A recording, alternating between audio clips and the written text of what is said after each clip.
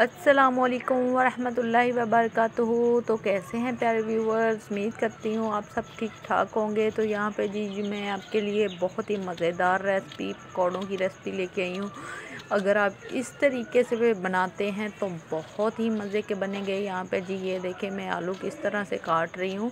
आपने भी सेम इसी तरह से काटते हैं और ये बहुत ही क्रिस्पी और बहुत ही क्रंची और बहुत ही मज़े के बनते हैं पकौड़े।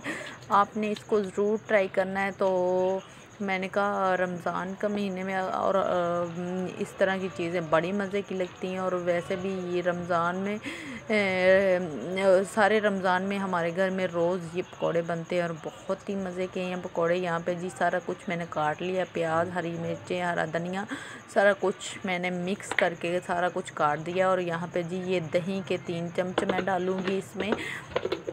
और इसके बाद जी मैं डालूँगी इसके अंदर ये नीमक डालूँगी दो चम्मच और यकीन जानिए ये बहुत ही मज़े का और तीन चम्मच मैं इसके तड़का मिर्च के इसके अंदर डालूँगी।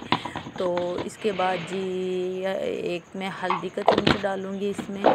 तो इसके बाद जी, मैंने जो डालना है थोड़ा सा गरम मसाला मैं डालूँगी और इसके बाद जी सूखा धनिया, जो कि बहुत ही मज़े का है, जो मैं बहुत ही थोड़ा सा बहुत ज़्यादा डालती हूँ। मुझे ये पकौड़ों में बहुत ही मज़े का लगता है और यकीन जानिए, ये पकौड़े इतने मज़े के और इतने क्रिस्पी और इतने बहुत ही मज़े के हैं ये पकौड़े तो आपने ज़रूर इसको ट्राई करना और इसके बाद जी मैं बेसन डालूँगी। इसमें आपको जितनी क्वांटिटी में चाहिए उतनी में उतना आप डाल सकती हैं। मैं अपने हिसाब से डाल रही हूँ, जितना मैंने बनाए चीज़ें बनाई हुई हैं उसी हिसाब से। और ये देखें मैंने मिक्स कर लिया ये देखें बहुत ही अच्छे तरीके से मैंने मिक्स कर दिया और अब हम आपको फ्राई करके दिखाएँगे यहाँ पे जी। ये देखें मैंने अच्छी तरह से इसको मिक्स किया और आपको दिखा भी रही हूँ।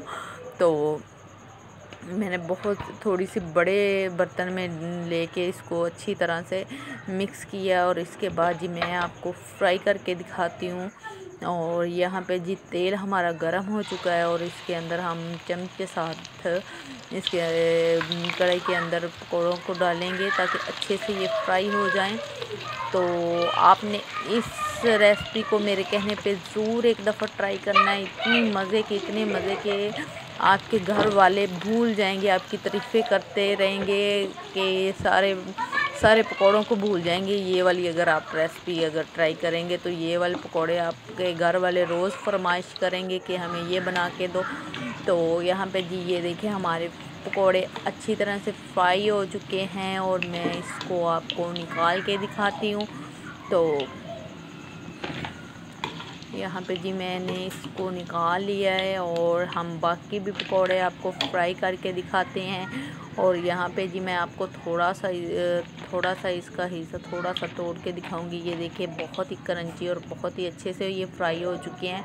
तो यहाँ पे जी सारे पकौड़े मैंने फ्राई कर लिए हैं और साथ में मैंने पुदीने की चटनी भी बनाई है। तो आपने, अगर हमारी वीडियो आपको पसंद आई हो तो लाइक एंड सब्सक्राइब करना बिल्कुल नहीं भूलना। तो नई वीडियो के लिए हाज़िर होंगे।